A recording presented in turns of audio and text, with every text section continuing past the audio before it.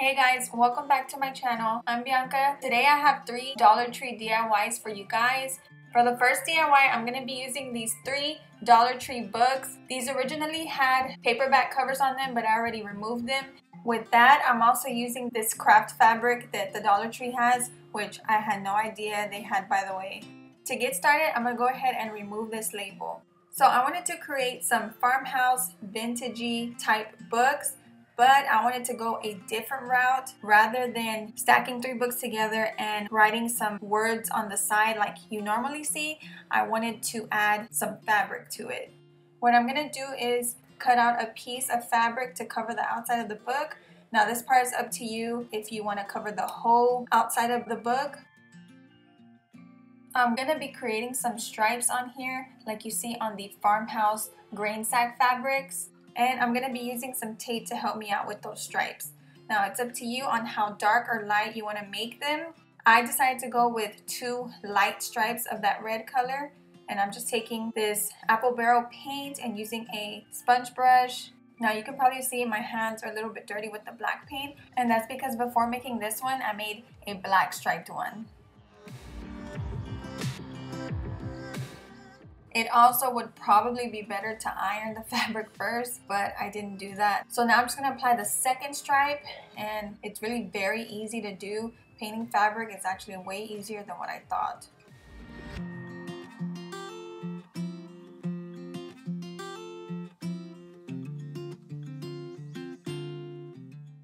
Now I'm going to center the fabric onto the book and I'm just going to add hot glue Originally, I was to hem the side a little bit by just folding it and then hot gluing it down. But I kind of like the frayed fabric at the end, so that's why I just left it that way.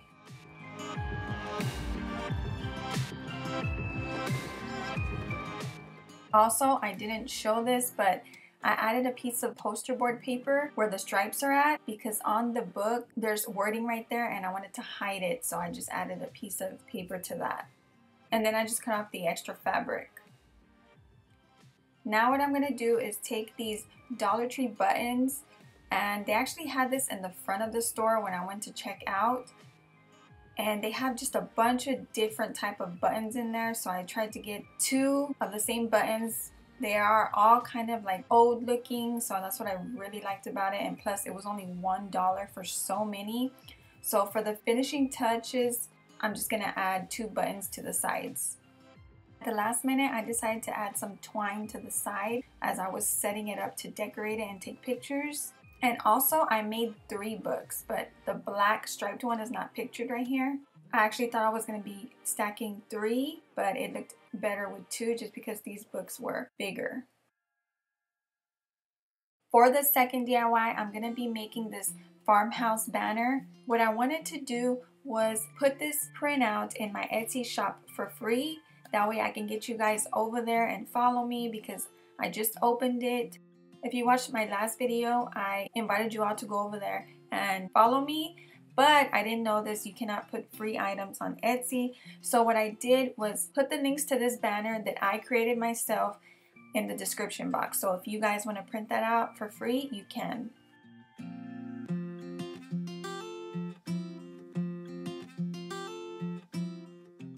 Now that everything is cut out, I'm going to be using my hole puncher and I'm doing that of course to hang it up and I'm just going to be using some Dollar Tree twine for that.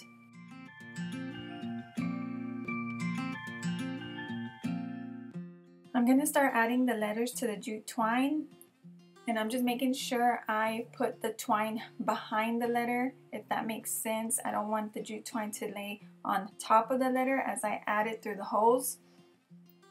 So first I'm just going to put farm and then I'm going to be creating these little rustic twine tassels to the sides before I add those two floral banner pieces.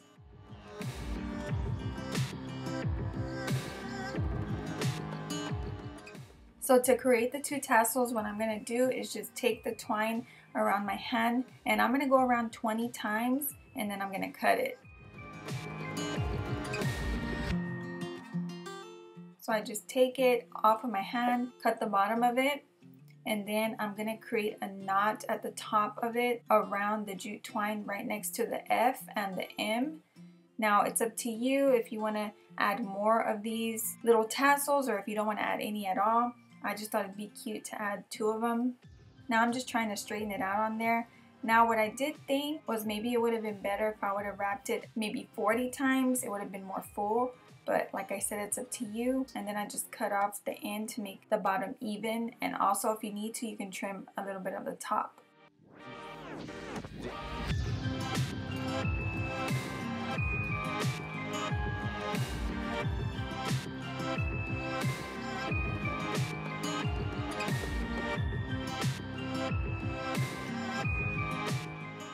So I ended up hanging it up right here above my console table. I might move it. I just thought I'd put it right here to show you how it looked. I might put it where my fireplace is at because I think it might look a little bit better right there. But I really like the way this came out and it was super easy to make. I hope y'all enjoyed this second DIY. Now let's move on to the third. For the third and final DIY, I'm going to be making a home sweet home farmhouse sign out of this Dollar Tree sign. So of course I'm going to turn it around, take off this twine and stickers to get started. And I know I've heard a lot of people tell me you can take a blow dryer to the sticker and remove it, but I didn't do that. I just removed what I could and then sanded it down a little bit and it was flat. So then I'm taking this lightweight spackle from Dollar Tree and mixing it up so I can cover those holes and let it dry for about 20 to 30 minutes. That's what it says on the back. If you do buy this, just make sure you mix it really well before applying it. And trust me, it's worth it. It's kind of satisfying to mix it. It's really soft, kind of like clay, and it dries into sort of like a cement.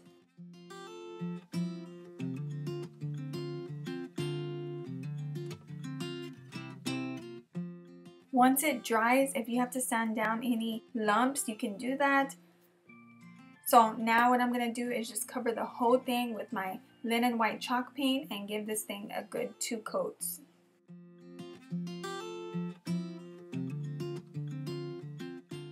So now that the two coats have dried, I'm to be outlining the whole sign with my jet black apple barrel paint. And what I'm doing is using these two sticky rulers that I have been using for the past few DIYs. If you've been watching, if you are new here, I actually got them from the Dollar Tree. The Dollar Tree carries a two pack of wooden rulers and there are centimeters and inches applied like this and I just remove them and then I kept them for things like this. So what I'm doing is just measuring about three quarters of an inch on each side and I did notice that the left one I did kind of mess up. It's a little bit thicker than what I wanted, but that's okay. You can't really tell.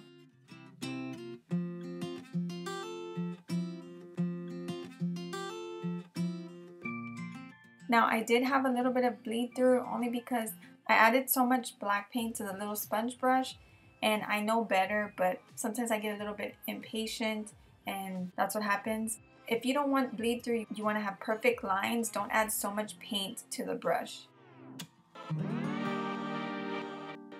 While the sign is drying, I'm going to be adding Home Sweet Home, like I said, with these Dollar Tree wooden letters. But what I'm doing is for the sweet part of the word, I'm going to be stenciling that in.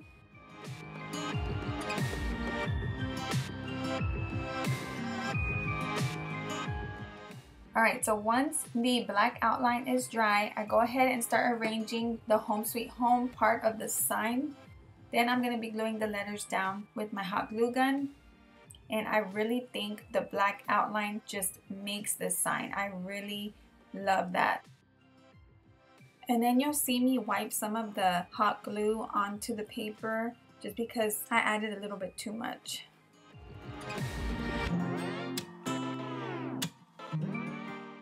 Then I just start stenciling the sweet part of the word and I actually use these stencils a lot. It's my favorite font right now and I'm just taking this stencil sponge brush and the only reason why I'm using this one instead of my Martha Stewart ones is because this one was already out and then I apply tape all around it just so I don't get too much paint everywhere else. To finish up the sign, I'm just going to be adding a small wreath. And what I did was just take a lid and drew a circle out of it and then just start gluing down this greenery that I had.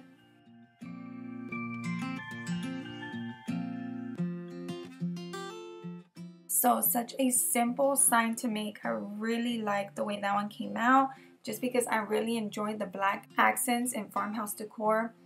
Thank you all for watching. I hope you enjoyed this video. Don't forget to go and follow me on Instagram and also in my new Etsy shop. I'm going to start coming up with some stuff to make and put on there, especially for the holidays. Have a great weekend and I'll see you guys in the next video.